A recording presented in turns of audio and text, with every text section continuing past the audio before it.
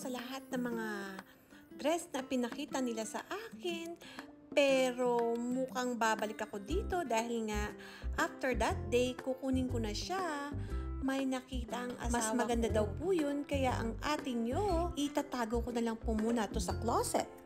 Hi guys! Magandang buhay po sa inyong lahat. For today's episode, ito nga po ang mga kaganapan nung nagpunta ako ng Commercial Street.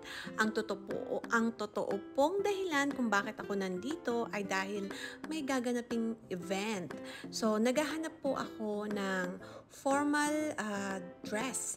So, kaya nagpunta po ako dito suit and tie ang uh, type po ng event na yon. Kaya eto, nagpunta na po ako dito sa Kalyan. Dito po ako laging bumibili ng mga um, special occasion na dress. O, di ba guys, ang gaganda ng kanilang mga paninda. Pero alam niyo ba guys, pag hinawakan niyo yan, tong gown na yan, naku po, napakabibigat po. Kaya sabi ko, ay, ayoko nun. Gusto ko, gusto kong kasi yung komportable, yung magaang lang, tapos nakakagalaw ako, nakakadance ako. Um, si ate, tsaka yung kanilang manager, tinutulungan na ako. Kasi madalas nga ako magpunta dito guys. Sometimes guys, pag namimili ka dito sa mga lugar na to, minsan talaga hindi may iwasan ang language barrier. Although ang Bangalore po ay halos uh, ah, 90% niyan ay English speaking na po ang mga tao. Pero syempre, meron pa rin po mga tao na galing sa ibang village na bago pa lang po sa Bangalore kaya medyo naninibago pa po at nahihirapan po pong magsalita. Pero to si ate, she speaks English very well. Ah, uh, wow. This is beautiful. Very nice. Bottom, And then, oh, inside. Okay. Very nice. And how much is this? 3,170. Okay. I need to put choices, but I like the color. So set aside. Let's choose and then I will put it on, okay?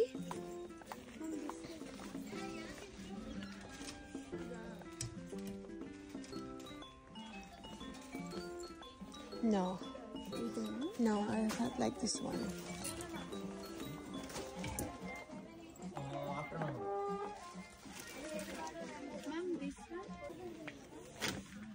Oh, so it's the same thing, but this is sleeveless, right? Yes, ma'am. Yeah.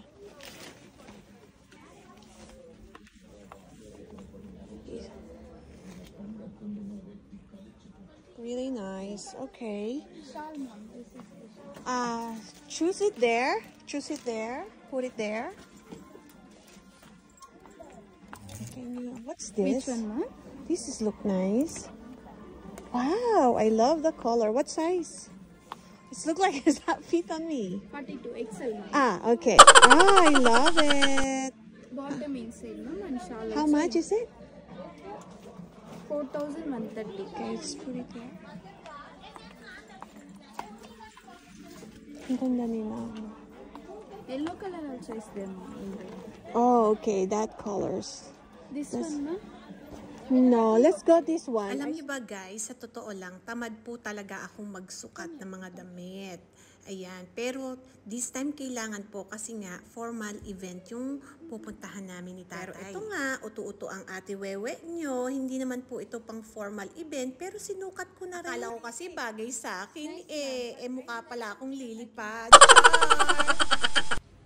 Thank you. Yeah, yeah. Either see. It's very nice, ma'am. Very nice. And guys, tapos na. I have to wait for one hour para makuha ko na yung gown ko.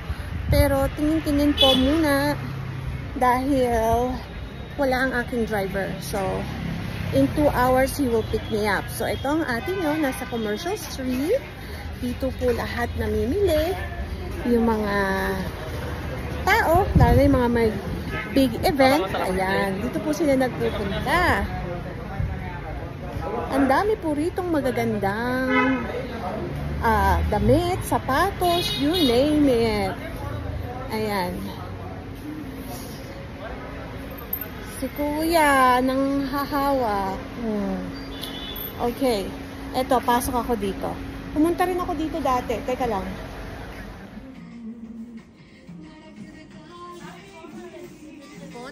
Dress, guys. Kaya lang hindi ko masakit tatay, pero super comfy siya. Ito guys yung sinasabi ko na pag kayo ay bibili, dapat i-research nyo po lahat ng tindahan para po hindi kayo manghinayang. At ito nga po yung nakita ko. Nagustuhan ko po siya guys. At ayan nga ang ate wearing nyo. Naglalaro na naman ng ganda-gandahan. O, ba? Kala mo ah, atin ng famas yan. At isa na naman pong magandang kulay ang aking nakita at pinasukat nila sa akin.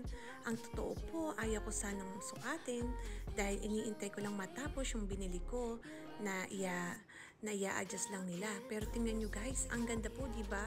Pati yung details niya, embroidered po talaga. Ganito po ang gown dito sa India. Yan, lakas maka prinsesa, pero dragona po ang ating. Ayan guys, napili na ako. I love it. This is my colors and I think I can wear this. Yeah. And then they can make it lower too. A little bit shorter. Right, Aka? They can make it a little bit shorter. Or this is perfect. Okay.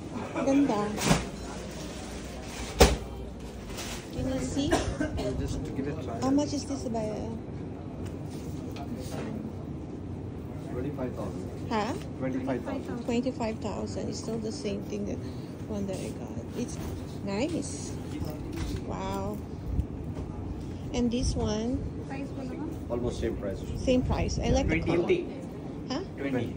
Why it's cheaper? This is expensive. Because this, this is more work. What you're wearing 8,000. Ah, at the back. Yeah. Okay. The work is different. That's really nice. At eto na nga guys, sinukat ko na yung gown. Medyo na-conscious ako kasi maraming mga lalaki sa harapan ko na nakatingin. At medyo conscious ang ating nyo dyan. Pero I love the fit. At ayun nga, kailangan kong bumalik dahil nagustuhan ito ni tatay. Pero nakabili na ako ng black na gown. Ayun.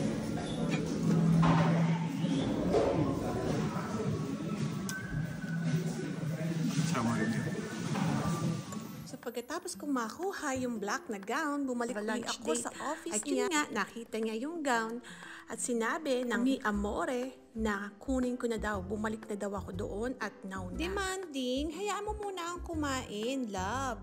Char. Sana all. Dahil bagay daw po sa akin ang green. Eto na nga guys, isi-share ko sa inyo ang itsura ng ating wewe nyo. Eto na guys, lakas maka-encantadya ang peg ng ating wewe nyo. Hindi po talaga ako sanay magsuot ng gown pero dahil nga request ni Amore, for the Ayan, go. guys, na-share ko na po ang aking journey kung paano ko napili ang damit na ito na gusto nyong lahat. Maraming salamat po sa inyong panonood. Ciao! Arrivederci! Abangan niyo po ang susunod kong vlog!